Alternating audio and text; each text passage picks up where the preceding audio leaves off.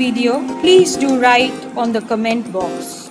Don't forget to like and subscribe our channel. And yes, please press the bell icon